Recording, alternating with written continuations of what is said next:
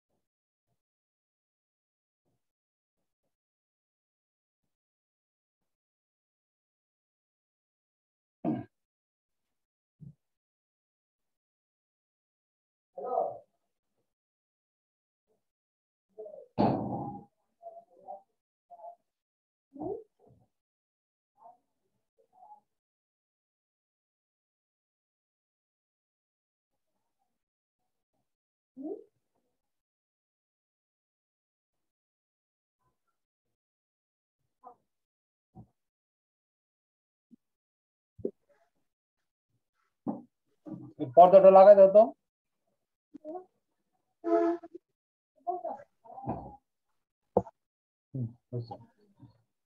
Hello sound clear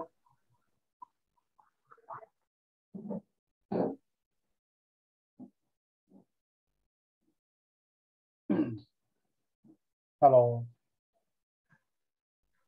কথা বোঝা যায় স্যার। স্যার তো শুরু করি আমরা। লিপিমালা হয়ে গেছে।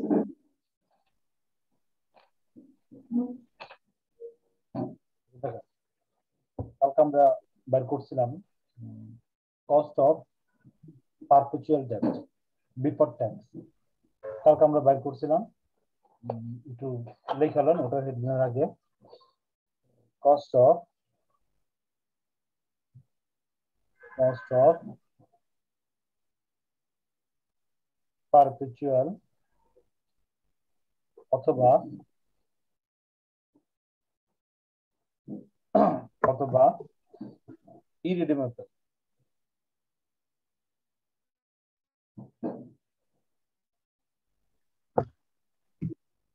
irredeemable debt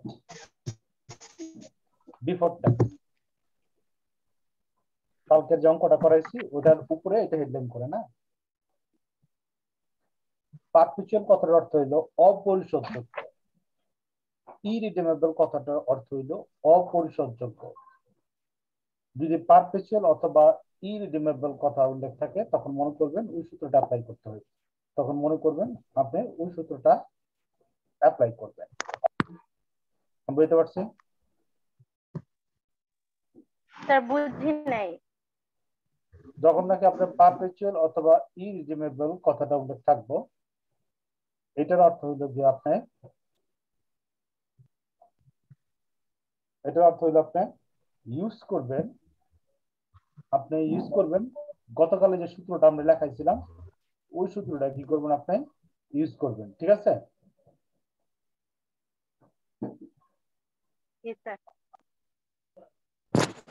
স্যার আসসালামু আলাইকুম। আসসালাম ঠিক আছে? তো আজকে ক্লাস শুরু করে হ্যাঁ? গতকালকে কথাটা বলতে আমি ভুলে গেছি হ্যাঁ? হ্যাঁ। আজকের আমাদের সূত্র হইল গিয়ে, আপনার সূত্রগুলো নাম্বারিং করে না? আজকের আমাদের সূত্র হইল গিয়া cost of perpetual debt after tax এটা করেছিলাম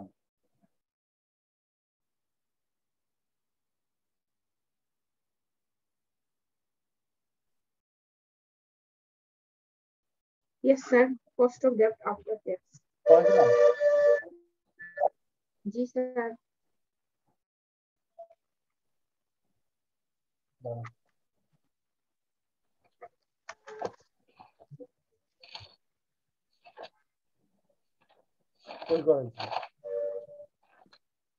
না স্যার শুধু সূত্র লিখে দিছিলেন করার নাই। ও এটা এটা লিখছিলাম হ্যাঁ? এটা ও। দেন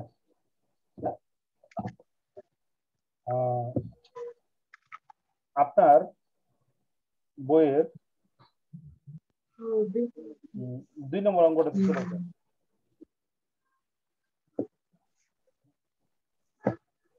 দুই নম্বর অঙ্কটা চার চার সাত।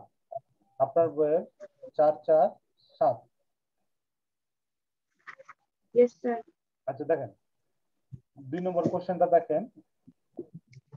এটা হলো কি আপনার cost of debt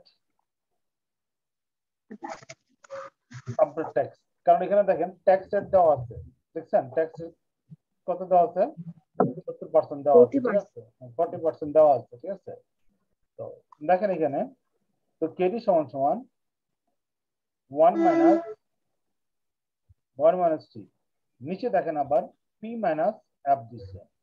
নিচে আবার কি দিচ্ছে পি মাইনাস অ্যাপ দিচ্ছে ঠিক আছে? আচ্ছা। ওইখানে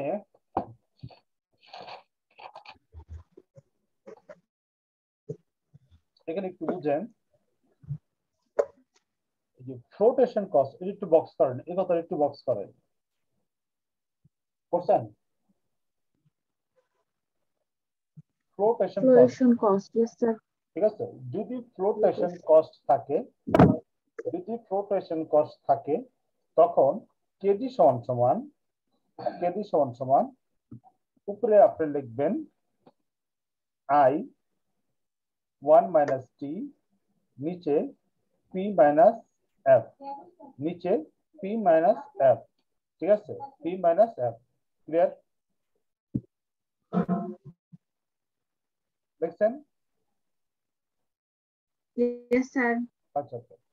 তো এখন এই অঙ্কটা আপনারা পারবেন মনে হয় আমার এটা করার দরকার নেই মনে হয়। দেখেন দুই নম্বরটা আপনি পারবেন।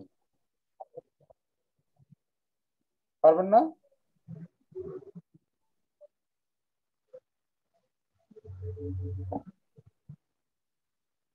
জি স্যার। আচ্ছা সঞ্জিতা পারবেন দুই? জি স্যার। ওকে। এখন দেখেন উম, আজকের ইয়েতে আমরা চলে যেতেছি, দেখেন cost of cost of perpetual ডেপ্ট perpetual তো করেন না কস্ট অফ রিডেমেবল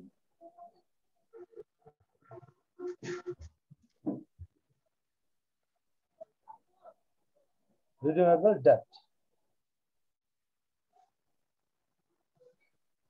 বাংলাতে হইল পরিশোধযোগ্য লোন পত্রের ব্যয়। তাহলে স্যার আগের সূত্রগুলোতে কি হবে? কস্ট অফ পারপোচিয়াল ডেপ্ট আফটার ট্যাক্স কস্ট অফ কারণ যে পরীক্ষার মধ্যে বা আপনি যখন করতে যাবেন সামনে অঙ্কগুলাতে তখন পারপিচুয়াল ইরিডিমেবল কথাটা উল্লেখ থাকবে। যদি পারপিচুয়াল আর ইরিডিমেবল কথার উল্লেখ থাকে তার মানে কি? কস্ট অফ আপনার যে প্রথম দিনের সূত্র লেখাচ্ছি ওই সূত্র দিয়ে অ্যাপ্লাই করবেন, ঠিক আছে?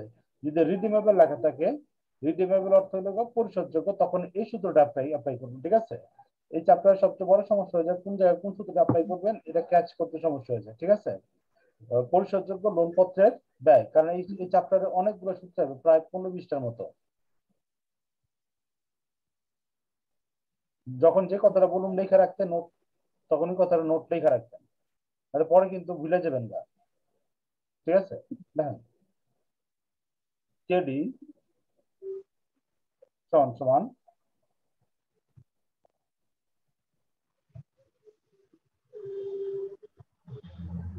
I one minus T plus cut bracket FB minus NSB divided by N divided by N আর নিচে FB plus NSB first bracket ভাগ দুই গুণ একশো গুণ একশো ঠিক আছে দেখা হয়েছে here here I সমান সমান total interest payment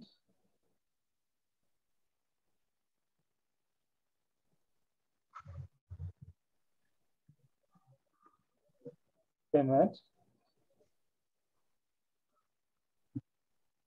FB সমান সমান face value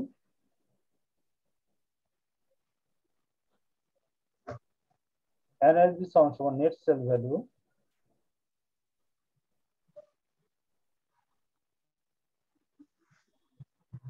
value n সমান সমান number of year.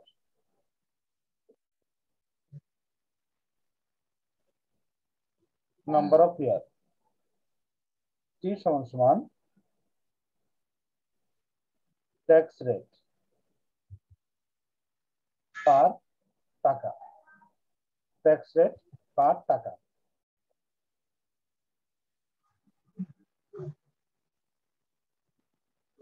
লেখা হয়েছে ভাই?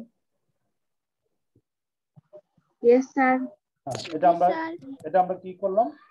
পরিশোধযোগ্য লোন পত্র ব্যয়। অর্থাৎ যে লোন পত্র একটা নির্দিষ্ট সময়ে কি করতে হইব কোম্পানিকে পরিশোধ করতে হইব ওই লোন পত্রের ব্যয়। আর ওটার বুঝবেন কেমনে? রিডিমেবল ঠিক আছে? বা ম্যাচুরিটি পিরিয়ডের পর পেমেন্ট করতে হইব। The debt will be paid অথবা debt will be paid after six year এরকম কথা উল্লেখ থাকতে পারে, ঠিক আছে? Paid after six year paid after paid after একটা টাইম উল্লেখ থাকবে, ঠিক আছে? পেইড আফটার এত বছর পর পেমেন্ট করতে হবে। রিডিমেবল কথার উল্লেখ করা না থাকলে যদি পেইড আফটার এত বছর পর উল্লেখ থাকে, তার মানে মনে করবেন এটা রিডিমেবল আমি বুঝতে পারছি? আচ্ছা। আপনার বইতে চলে যান।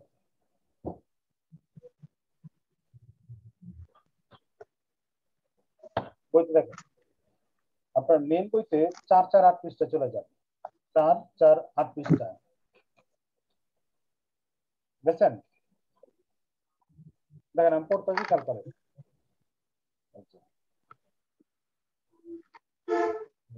in order to raise টাকা ফাইভ লাখ পাঁচ লাখ টাকা উত্তোলন করার জন্য Nishad jute mill limited decided to issue five years পনেরো percent bond Nishad jute mill সিদ্ধান্ত গ্রহণ করেছিল যে ইস্যু করব পাঁচ বছর মেয়াদি পনেরো পার্সেন্ট বন্ড পনেরো পার্সেন্ট আর কি সুদ দিব বন্ডের অফ টাকা টেন অফ টাকা টেন একশো টাকা বন্ডে পনেরো টাকা সুদ দিব, মেয়াদ থাকব পাঁচ বছর। মোট কত টাকা সংগ্রহ করব? পাঁচ lakh.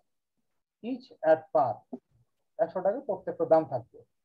flotation cost is 5% of issue price. Flotation cost ধরতে হইব 5% issue price এর উপরে।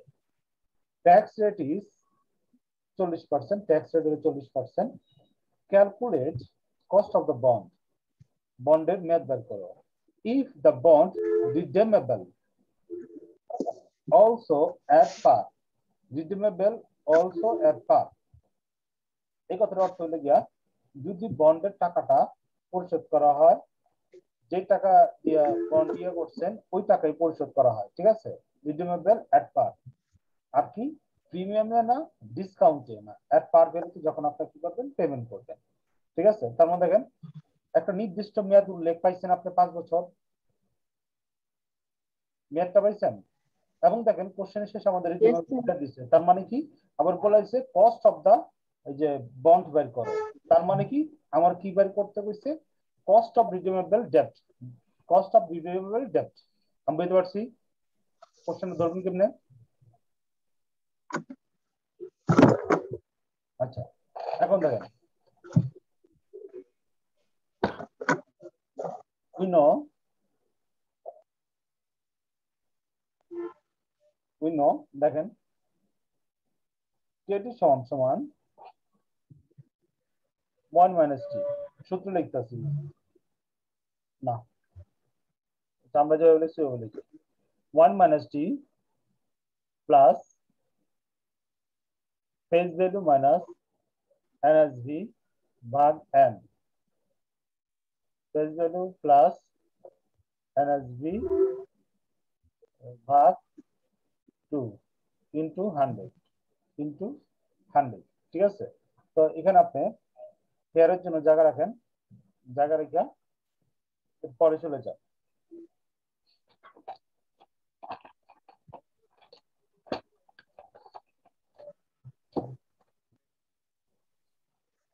here here দেখেন, আই। আই হলো গা টোটাল ইন্টারেস্ট বা অ্যানুয়াল ইন্টারেস্ট আই হলো গা total interest total interest payment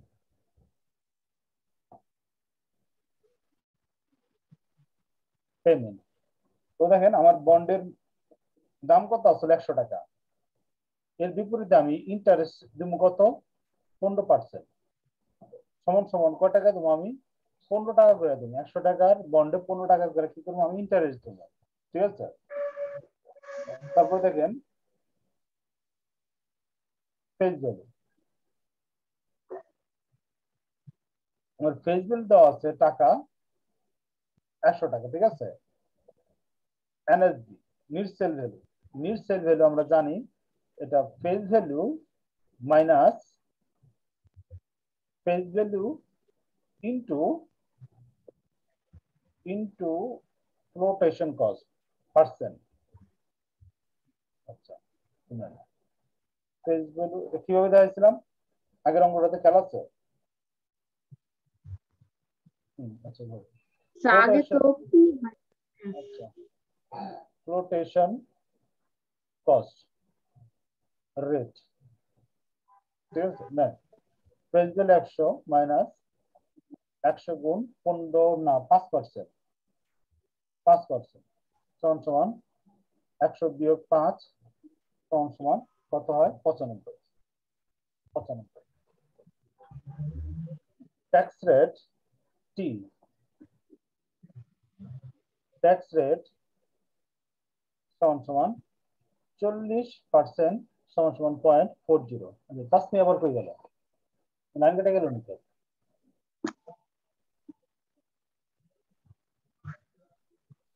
five percent আচ্ছা এই পর্যন্ত লিখছেন আপনারা? জি স্যার। আচ্ছা এখন আপনারা কি করেন? মানটা বসাইতে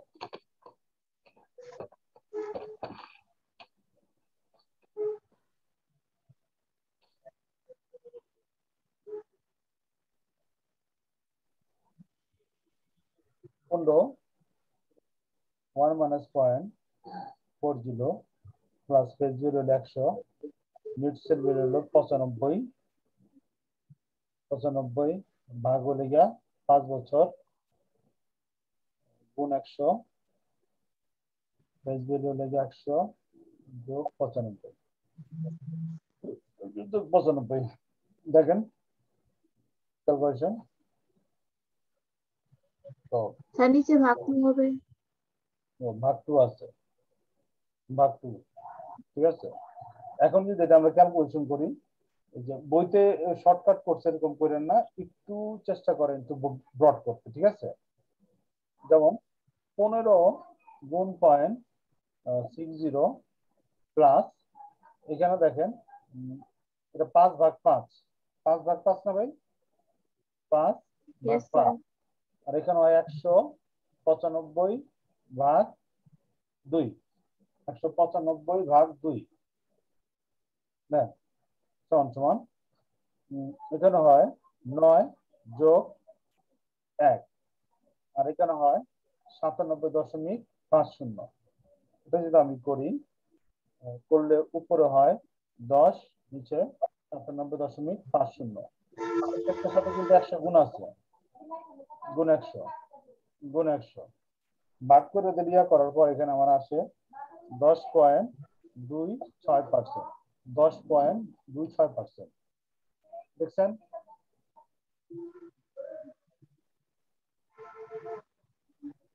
জি স্যার। জি স্যার। আচ্ছা এটা ক্লিয়ার জি স্যার। আচ্ছা আচ্ছা। এটার সাথে সাথে লেখেন আপনারা অঙ্ক কভার করব। লেখেন, চার, পাঁচ, ছয়, সাত, এই কটা অঙ্ক কভার করব। ঠিক আছে? চার, পাঁচ, ছয়, সাত সেম এই ক্যাটাগরি ঠিক আছে? এইটা বাড়ি কাজ থাকবে, করে ফেলাইবেন। আমি অন্য একটা দিয়ে যেতেছি হ্যাঁ? দেখছেন? জি স্যার জি স্যার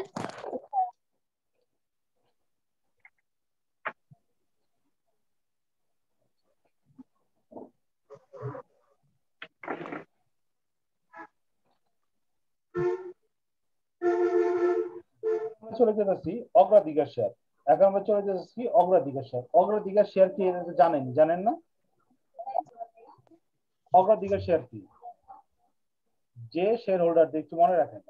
যে শেয়ার হোল্ডারদের টাকা যে শেয়ার হোল্ডারদের টাকা লোন গ্রহীতাদের লোনের সুদের টাকা প্রদান করার পর লভ্যাংশ প্রদান করা হয় তাদেরকে অগ্রাধিকার শেয়ার বলে। বুঝতে পারছি আমি? যে শেয়ার হোল্ডারদের টাকা আচ্ছা শর্টকাট বুঝেন। আসান ভাষা বুঝেন। কোম্পানিতে যারা লোন দেয় ওরা কি পায়? সুদ পায় না? ওই সুদের টাকা দেওয়ার পর যাদেরকে অগ্রাধিকার ভিত্তিতে টাকাটা লভ্যাংশ প্রদান করা হয়, ওইটা হলো অগ্রাধিকার শেয়ার বুঝতে পারছি শর্টকাট বলবেন, যারা নাকি ঋণদাতা আছে, তাদের টাকা প্রদান করার পর যাদেরকে অগ্রাধিকার ভিত্তিতে লভ্যাংশ প্রদান করে, তাকে বলা হয় অগ্রাধিকার শেয়ার ক্লিয়ার কোম্পানিতে যাদের শেয়ার আছে, নতুন করে যখন কোম্পানি আবার ইস্যু করে শেয়ার যারা শেয়ার হোল্ডার পুরাতন শেয়ার হোল্ডার না, তাদেরকে আবার ওই শেয়ার বিক্রয়- এটাই তো আপনাদের- এরকম না এরকম না বুঝেন কনসেপ্ট ক্লিয়ার হইতেছে না। মনে করেন আপনি টাকা সংগ্রহ করছেন সাধারণ শেয়ার দিয়া অগ্রাধিকার শেয়ার দিয়া আর লোনের মাধ্যমে এই তিনটা সোর্স থেকে আপনি কোম্পানির ক্যাপিটাল সংগ্রহ করছেন। ক্লিয়ার তিনটা সোর্স থেকে টাকা সংগ্রহ করছেন। তো নিয়ম অনুসারে প্রথমে যারা নাকি আপনার কোম্পানিতে সুদ দিছে, তাদের তাদের লোন দিছে, তাদের সুদ দিবেন। যারা আপনার কোম্পানিতে লোন দিছে, তাদের সুদ দিবেন। তারপরে আপনার লভ্যাংশ থেকে যাদের টাকা দিবেন, তারা হলো অগ্রাধিকার শেয়ার এরপরে দিবেন অগ্রাধিকার শেয়ার হোল্ডারদের লভ্যাংশ দিবেন। তারপর সাধারণ শেয়ারের লভ্যাংশ। এই জন্য আমি বলছি কোম্পানির লোন দাতাদের সুদ প্রদান করার পর যাদেরকে অগ্রাধিকার ভিত্তিতে লভ্যাংশ প্রদান করা হয় তাকে অগ্রাধিকার শেয়ার বলে। ক্লিয়ার স্যার সাধারণ শেয়ার হোল্ডার যারা তাদের শুধু আমরা সুদ দিব। আর অগ্রাধিকারদের-। হ্যাঁ আর অগ্রাধিকার শেয়ার তাদের ওই সুদও দিব তারপরে আবার কোম্পানির লভ্যাংশও দিব। বুঝাইতেছে না।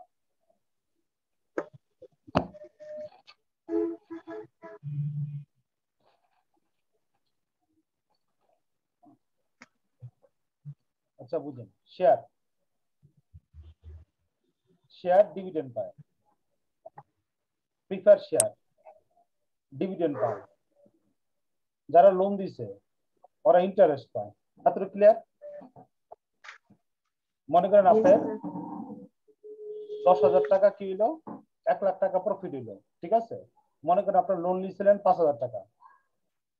পঞ্চাশ টাকা লোন নিয়েছিলেন ঠিক আছে? দশ পার্সেন্ট সুদে। তার মানে সুদ কত? পাঁচ হাজার টাকা না? তো প্রথম আপনি কি করবেন? পাঁচ হাজার টাকা দিয়ে দিবেন। কারে দিবেন? ইন্টারেস্ট দিবেন। ঠিক আছে? এরপর থাকে কত? তাহলে পঁচানব্বই হাজার টাকা। ঠিক আছে? এই যে পঁচানব্বই হাজার টাকা আছে, এরপরে টাকা দিবেন হলো প্রিফারেন্স স্টকদের স্টক যারা আছে, অগ্রাধিকার শেয়ার আছে, তাদের টাকা দিবেন। অগ্রাধিকার শেয়ার আবার পার্সেন্টেজ থাকে। মনে করেন ফাইভ পার্সেন্ট একটা সংগ্রহ করছেন, মনে করেন এক লাখ টাকা। এক লাখ টাকা। এর হইল মনে করেন দশ হাজার টাকা। এরপরে দশ হাজার টাকা দিবেন হলে গিয়ে এরপর দশ হাজার টাকা দিবেন প্রিফারেন্স স্টকে তারপরে যদি বাঁচে টুচে ওটা দিবেন শেয়ার হোল্ডারদের এই জন্য আমি বলছি কোম্পানির মুনাফার কোম্পানির মুনাফার লোন গ্রহীতাদের সুদ প্রদান করার পর সুদ প্রদান করার পর যাদেরকে লভ্যাংশ প্রদান করা হয় যাদেরকে লভ্যাংশ প্রদান করা হয় অগ্রাধিকার ভিত্তিতে তাকে অগ্রাধিকার শেয়ার বলে। বুঝতে পারছি? জি স্যার। ওকে সঞ্জিতা ক্লিয়ার জি স্যার। না নটা দিয়ে শেষ হবে আচ্ছা দেন।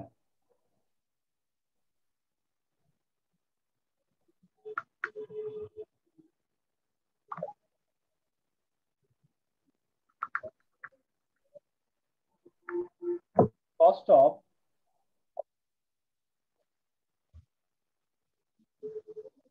পারপেচুয়াল অথবা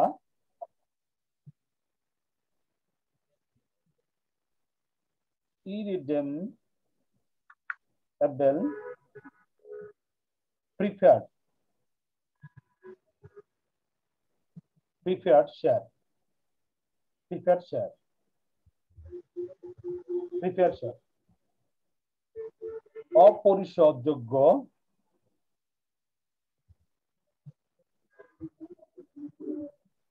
অপরিশোধযোগ্য।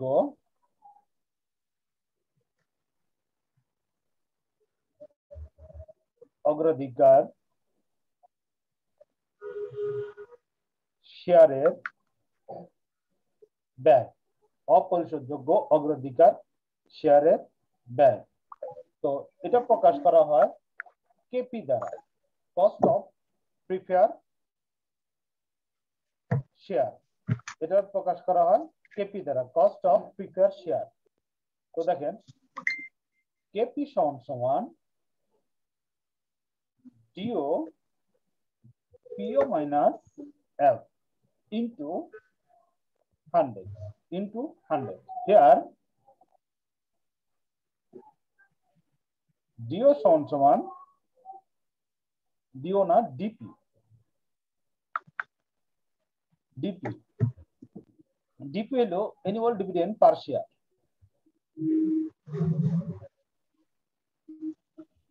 annual dividend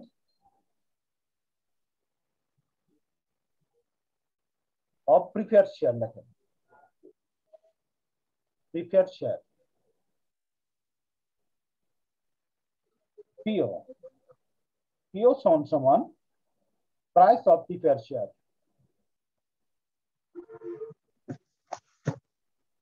price of prepared share. Price of prepared share. F someone someone flotation cost. F someone someone flotation cost.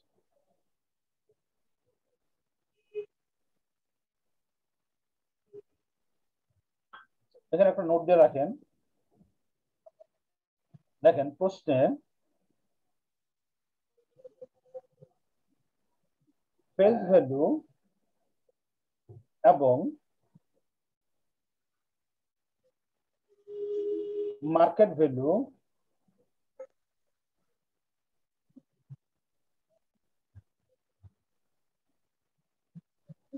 দুটি দেওয়া থাকলে দেওয়া থাকলে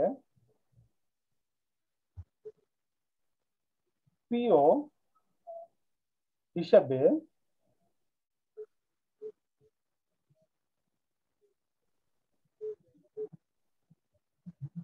মার্কেট প্রাইস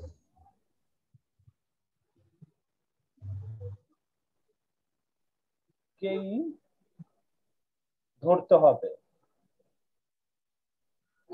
ধরতে হবে। কতটা বুঝছেন Yes, sir. জি স্যার আচ্ছা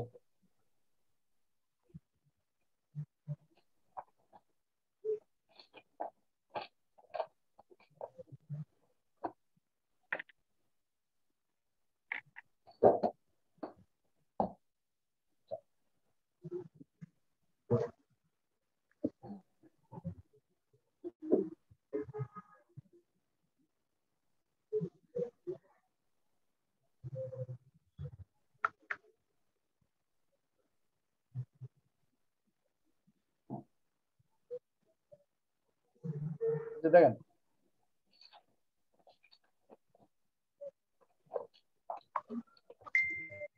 এখানে আবার যদি ফ্লোটেশন কস্ট না থাকে, যদি ফ্লোটেশন কস্ট না থাকে, ওই সময় কেপি হইব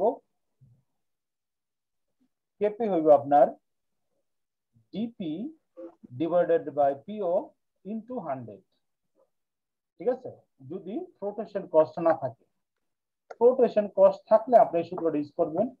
ফ্লোটেশন কস্ট না থাকলে আপনি এই সূত্রটা ইউজ করবেন। ক্লিয়ার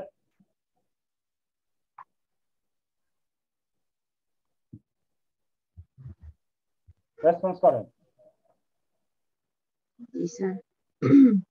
আচ্ছা। এখন. হ্যাঁ, এখন আপনারা চলে যান। আপনার বইয়ের চারশো পঞ্চাশ পৃষ্ঠায় চলে যান। আপনার বইয়ের চারশো পঞ্চাশ পৃষ্ঠায় চলে যান এবং নতুন করে অ্যাড অন Thank you.